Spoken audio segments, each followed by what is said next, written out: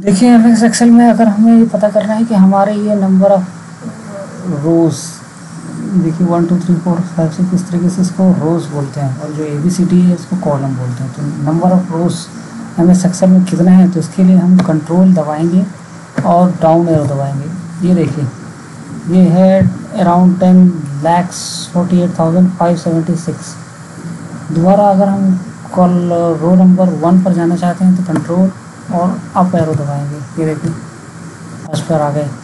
फिर दोबारा जाना है कंट्रोल डाउन एरो फिर कंट्रोल अप एरो तो इस तरीके से है, इस एक्टिविटीज़ को हम कर सकते हैं और ये जानकारी प्राप्त कर सकते हैं। धन्यवाद।